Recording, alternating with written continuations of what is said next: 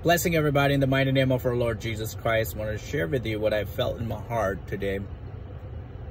That even though on this holidays, you know, there is still division among people. I see division between black and whites and division not just only racial but also spiritually. A lot of people say that oh it is a it is a physical thing, it's a politics things, that division happening in the lives of people. But you need to understand that it is less politically but more spiritually division in our life.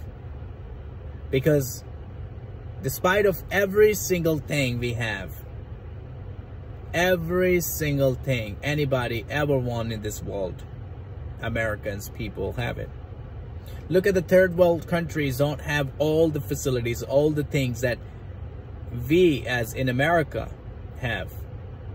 Despite of having all the money, despite of having a good life, but we're still missing something.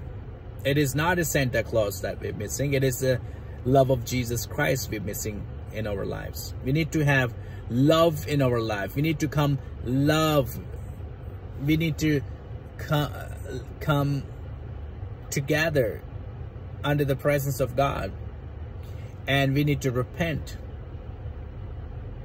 Because repentance can only be happen when we truly with our heart give up ourselves. Stop being selfish. Stop being, uh, you know, politically correct. And just come into the presence as we are. If we can come into the presence as we are, why can't we give up our stubbornness? On this special days, I want to ask everyone to give up. Don't be selfish. Just give up your your politically correctness, your whether you're Republican or Democrat, it doesn't matter because God is not a Republican or Democratic. God is neither, but he is God. And he's not on your side until you are on his side. So you have to be, God doesn't have to be on your side. You have to be on God's side in order for this thing to work. I want to bring this message to you that if you truly want to spread the love, you need to give up. You need to give up to go up. Somebody said you need to give up the seat so you can go up to the next seat.